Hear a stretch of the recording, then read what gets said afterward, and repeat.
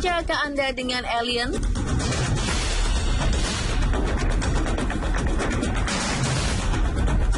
Sebuah mumi mirip alien ditemukan di Chile 2003 lalu. Mumi alien ini memiliki bentuk yang aneh, tidak selayaknya mumi manusia pada umumnya. Lebih terlihat seperti sebuah alien bertubuh pendek. Dengan bentuknya yang tak lazim, mumi ini kemudian menggegerkan publik. Ada yang menyebutnya mumi alien, ada juga yang menganggap mumi ini bagian dari makhluk gaib.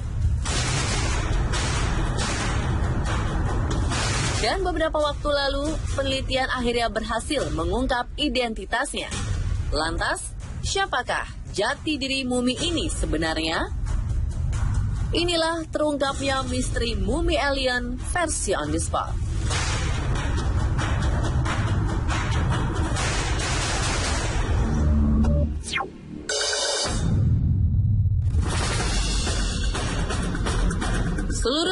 Tercengang melihat sebuah penemuan mumi aneh. Mumi mungil ini ditemukan oleh seorang pencari benda-benda bersejarah Oscar Munoz di dalam gereja tua di kota La Noria, wilayah Gurun Atacama, Chile pada 19 Oktober 2003 lalu. Di dekat reruntuhan gereja tua, Oscar menemukan kain putih membungkus sebuah kerangka aneh. Sejak itulah, kerangka yang diperkirakan berasal dari tahun 1970-an ini langsung menjadi perbincangan di jagat maya. Mumi alien Atacama ini semakin terkenal sejak Direktur The Center for the Study of Extraterrestrial Intelligence and Disclosure Project, Steve Greer, membuat film dokumenter berjudul Cyrus, film tentang bukti kehidupan makhluk asing luar angkasa. Panjang tubuh mumi Ata atau Atacama hanya sekitar 15 cm saja dengan bentuk tengkorak lancip ke atas, rongga mata panjang dan menyamping. Anehnya lagi, jumlah tulang rusuknya lebih sedikit, hanya 10 pasang, tidak 12 pasang. Jauh dari ciri-ciri manusia normal pada umumnya. Saking anehnya kerangka ini, mumi Ata sempat diperjualbelikan ke pasar gelap hingga akhirnya jatuh ke tangan seorang pengusaha dan kolektor asal Spanyol. Spekulasi pun bermunculan.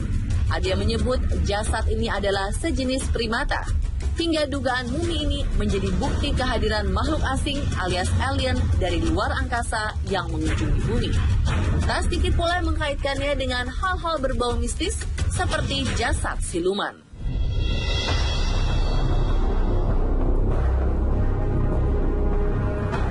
Melihat kejanggalan ciri-ciri dan bentuknya, para peneliti saat itu memuntahkan spekulasi bahwa mumi mungil ini adalah mumi seorang makhluk luar angkasa alias mumi seorang alien. Dan spekulasi ini dipercaya masyarakat selama bertahun-tahun.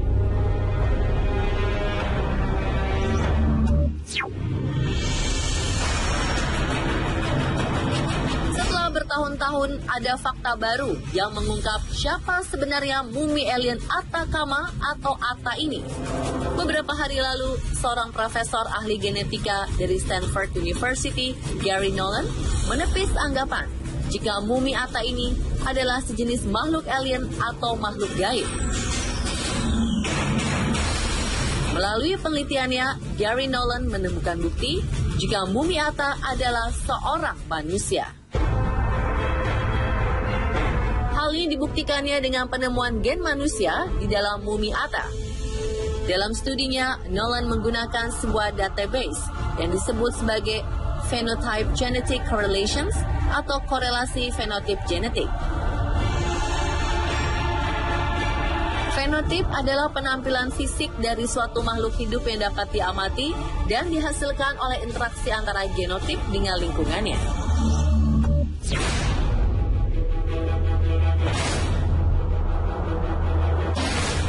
Lalu jika ia memang manusia, mengapa bentuknya sangat kecil dan aneh? Ternyata mumi Atta bukanlah manusia biasa. Sejak lahir, Atta memiliki kelainan pada otot tulang atau dwarfisme semasa hidupnya dulu.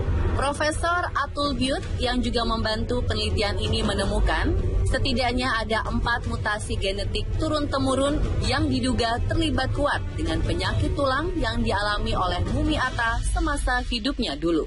Sayang, semua turunannya tidak dapat diteliti oleh sains.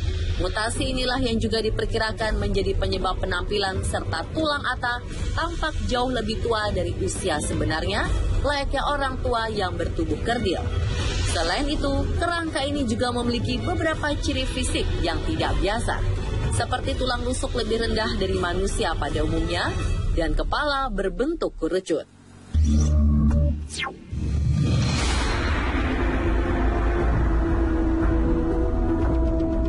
Tidak berhenti sampai di situ.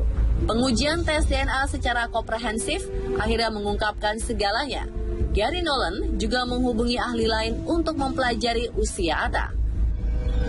Ia meminta bantuan Ralph Lockman, seorang ahli radiologi, untuk menganalisis lebih dalam tulang belulangnya. Berdasarkan hasil penelitiannya, Lockman memperkirakan mumi Atta meninggal di dalam rahim atau tidak lama setelah lahir. Kecacatan membuatnya sulit untuk bertahan hidup. Dengan teknologi canggih, diketahui pula mumi alien Atta adalah bayi atau janin berjenis kelamin perempuan. Penemuan ini didasari oleh bukti kurangnya kromosom Y di genetiknya. Selain itu, para peneliti juga berhasil menemukan fakta bahwa mumi alien Atta adalah seorang keturunan Amerika Selatan dan Eropa. Kini, Nolan berharap mumi alien Atta dapat beristirahat dengan tenang di tempat peristirahatannya di gurun Atacama, Chile. Nolan berjanji akan mengembalikan mumi alien Atta ke tempat semula untuk menghormati orang-orang yang meletakkannya di sana di akhir hayatnya. Stephen Greer, seorang ahli teori konspirasi di belakang mumi alien Atta, menyanggah kesimpulan Nolan mengenai si mumi kerdil Menurutnya, mumi ini bukanlah manusia yang mengalami kelainan tulang. Jika bukan manusia, Stephen sendiri belum memiliki jawaban atas pernyataannya tersebut. Apa pun itu, kita nantikan saja bagaimana kelanjutan penelitian mumi alien Atta berikutnya. Dan pemirsa itulah rangkuman terungkapnya misteri mumi alien versi on the spot. Semoga informasi tadi menambah wawasan dan pengetahuan Anda ya.